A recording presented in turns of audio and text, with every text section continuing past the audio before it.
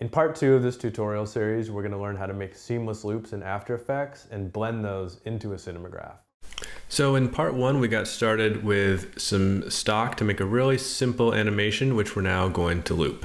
We're gonna make a new comp from that and rename it to blend so you can keep track of what is what.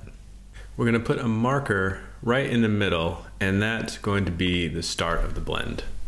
And then you drag it over so that it's going off the left side, uh, adjust your play area, duplicate it, and then bring that marker over to uh, the end so it'll basically blend into itself. And we're, we're going to do a transparency blend here. So from 0 to 100, and that's it. So now is that animation we made before is blending into itself. So it's just going forever. And this is exactly what we need to be able to drop it onto the windshield. So just trim it down to 50 frames so it fits with the rest of our loop. And we'll take it over into the main comp.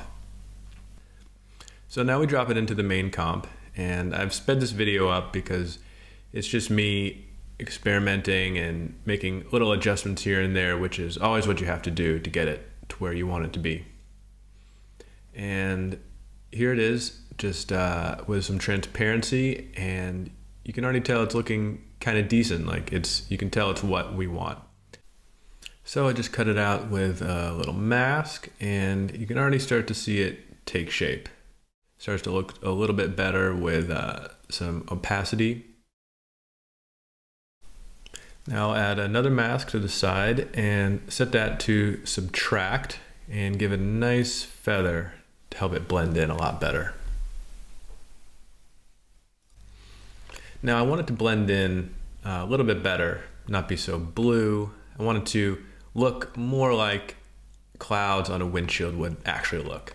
So I'm going to desaturate it and add some curves in as well. Because when you see a reflection in the windshield, you're not really seeing a perfect representation of what's there. It's more like a, a high contrast version. So I'm just going to play with these adjustments until I get it to a point that feels right. Because mostly you have to go on your gut and see what feels right and have some reference pictures to look at and imitate what actually happens in nature. You don't want this effect to stand out so much, it shouldn't be too noticeable. It should really be almost an afterthought to the viewer it just adds something a little bit extra. So I'm going to add some more curves, nudge it around till I, I get to a point where I like it. Now I'm going to go through and add some more masks just to get rid of this reflection effect where we don't want it. And every adjustment like this you can make will help the effect be more convincing. Like I said, you don't want it to stand out. You want it to look as natural as possible and just lend the effect to the overall cinemagraph, not really be a thing in and of itself. So now I have the mask how I like it, and I'm going to play it for a bit and see if there's any more changes that I want to make. And to me, it looks like it just stands out too much. It really draws your eye way, way too much. So I'm gonna adjust the opacity until it gets to a subtle level that I like. And that feels good to me. So the next part I want to tackle is over here on the reflections on the side of the car, the door and the side mirror. We have a gravel driveway and some trees, and that's going to be great to make it look like this car is moving. So now I'm back in Adobe stock. I'm going to look for a nice picture of gravel to use. And I like this one here. It's nice and wide, which will be really helpful for what we need it for. So here it is in a comp in After Effects, make it down to 1080. And so I'm going to start by scaling it up and squishing it around, which is okay because it's going to be distorted. And then like we did with the clouds, I'm gonna create a keyframe at the beginning and another at the end and position it going this way. So I have some sideways movement. And now I think that's not really going to be enough movement. We want we want this to really reflect some speed. So I'm going to scale it up and squish it down, adjusting my keyframes. Make make sure it's positioned right. And then you'll see much faster looking there. So I think this is going to work for us.